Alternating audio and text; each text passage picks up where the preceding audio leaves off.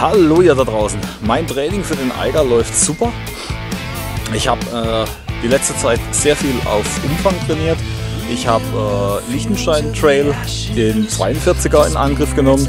Hat leider nicht geklappt. Ich musste abkürzen und nur die Hälfte laufen.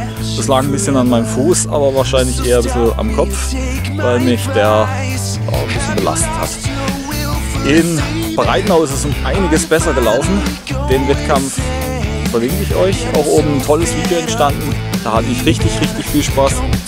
Macht Laune. Ein Longjog habe ich noch drin gehabt von über 35 Kilometer. Ganz locker, ganz easy. Easy war auch dabei, hat Spaß gehabt. Jo, und heute habe ich ein äh, Bergtraining gemacht, was ich habe es jetzt nicht unbedingt erfunden.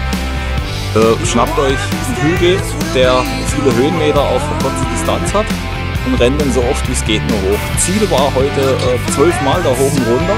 Dann bin ich so ungefähr über 2000 Höhenmeter. Das habe ich zeitlich einfach hingekriegt heute.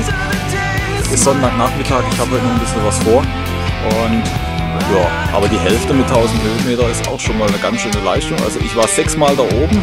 Es hat riesen Laune gemacht. Ich bin super fit. Also ich könnte jetzt ein paar Mal hoch und runter rennen. Und werde das auch noch die nächste Zeit mal machen mit den zwölf Mal freue mich schon drauf. Euer Matze. Ciao.